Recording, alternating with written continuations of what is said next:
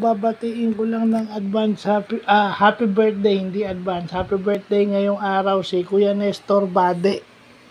Ah, birthday mo pala, nalimutan natin. So, happy birthday po. Ah, God bless at sana eh okay kayo.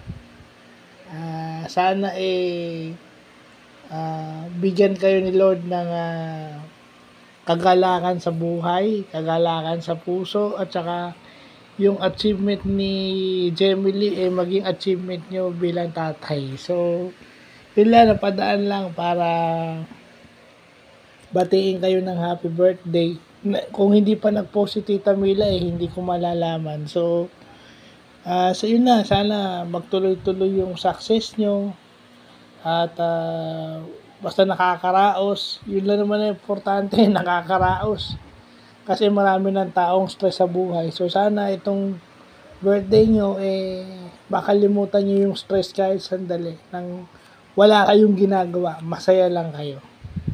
So, yun lang po.